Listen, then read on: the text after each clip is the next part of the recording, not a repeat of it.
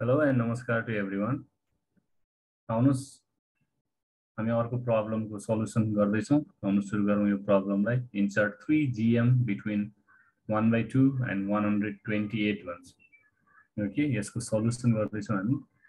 आउनुहोस् सुरु गरौँ सल्युसन ओके सो हामी यहाँ लेट गर्दैछौँ। Let M one M two M3 be the required be the required GM geometric mean then हाम्रो सिक्वेन्स कस्तो हुन्छ त अब भन्दा then one by two m one m two m three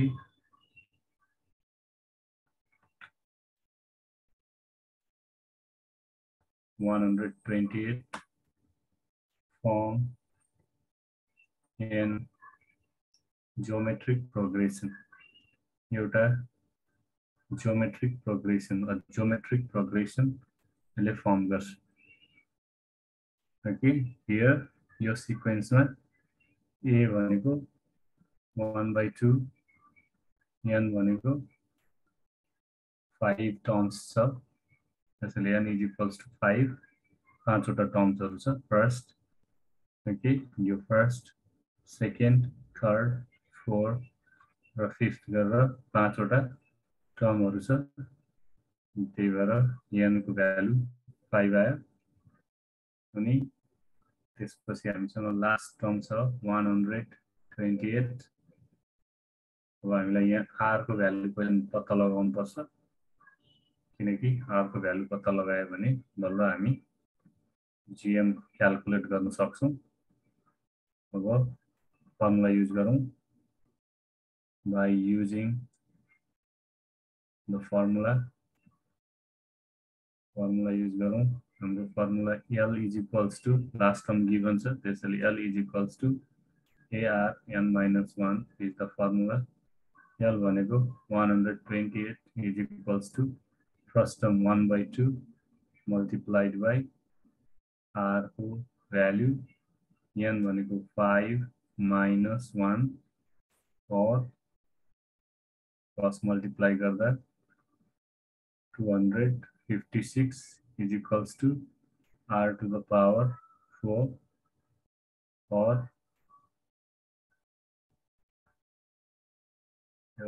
256 भनेको 4 को power 4 is equals to r to power 4.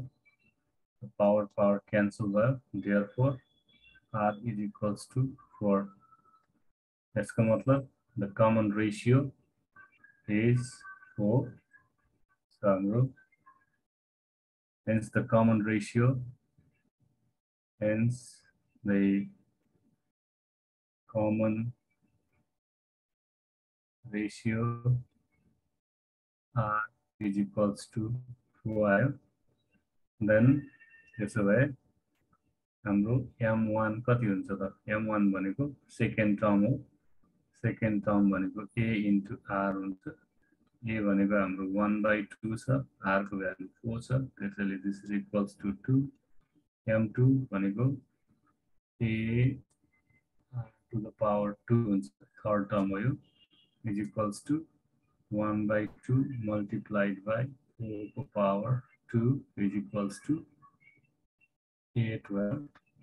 M3 is equals to A R to the power, sorry, 3 R to the power 3 is equals to 1 by 2 multiplied by 4 to the power 3 is equals to 4 3 is 4 sorry 4 4 into 4 4 to the power 3 is equals to 64 so 64 divided by 2 is 32 so sorry हाम्रो आन्सरहरू आउँछ okay यसरी हामी calculate गर्न सक्छौँ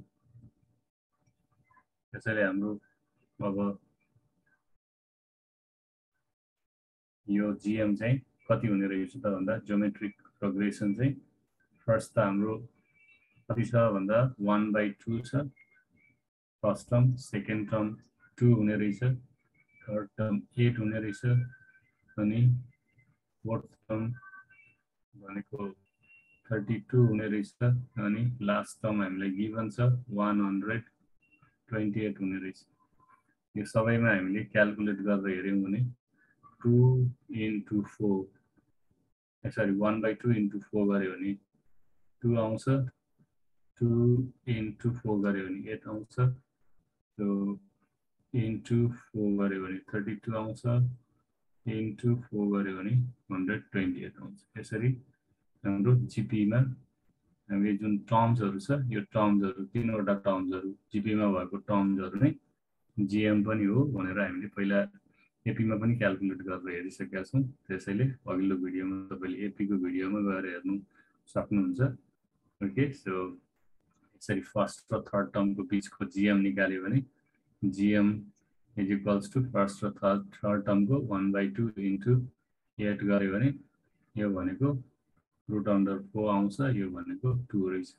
त्यसैले हाम्रो one first र third टर्मको जिएम भनेको कति रहेछ भन्दा सिम्पली टु रहेछ यसरी क्यालकुलेट गरेर हेर्न सक्छौँ हामी हस् त भिडियो अन्तसम्म हेरिदिनु हेरिदिनु भएकोमा तपाईँहरूलाई धेरै धेरै धन्यवाद अर्को भिडियोमा फेरि भेट हुनेछ तबसम्मको लागि बिदा दिनुहोस् नमस्कार